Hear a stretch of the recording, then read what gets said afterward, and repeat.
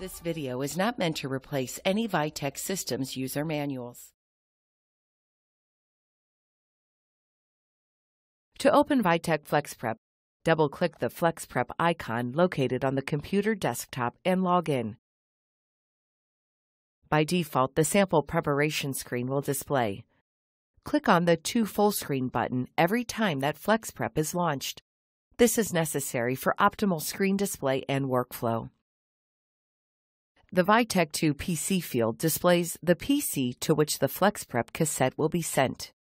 When connected to multiple PCs, more than one PC option is available for this selection. Only one PC will be used for this video, Cassettes created must be loaded into an instrument connected to the selected Vitek 2 PC. The Instruments pane displays what instruments are connected to the Vitek 2 PC.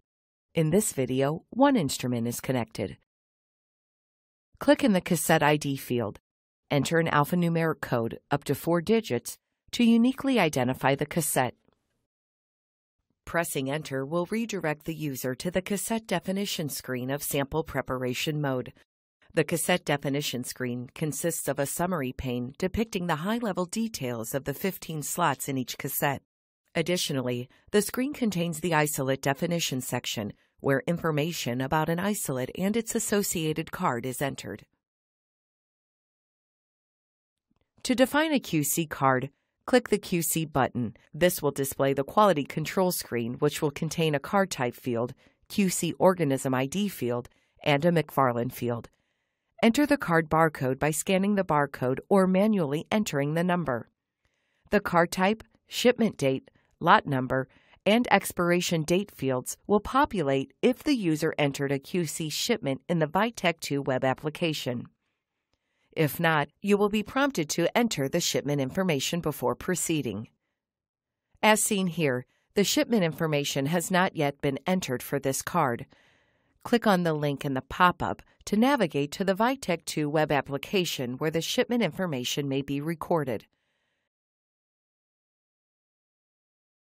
Click the QC Organism ID field. Select the correct QC Organism ID for the card from the Organism drop-down menu. Prepare the organism's suspension using well-isolated colonies of an appropriate age from an appropriate media. The Vitek DensiChek will indicate if the suspension is of the correct turbidity or requires adjustment.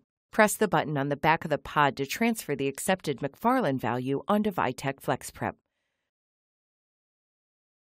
Confirm all the details for the isolate are correct and then click Validate or press F12 to save the information and to advance to the next slot to begin setting up cards for the next isolate. To exit the quality control screen, click the QC button again. Before sending the cassette to the instrument, it is good practice to click the Summary button or press F9 to access the cassette summary screen for reviewing card details. Ensure that the software matches the physical cassette.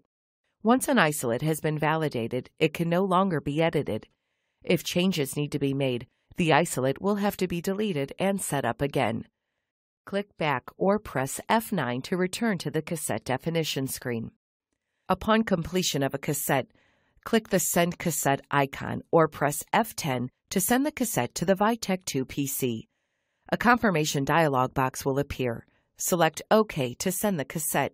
The definition will be sent to all of the listed instruments.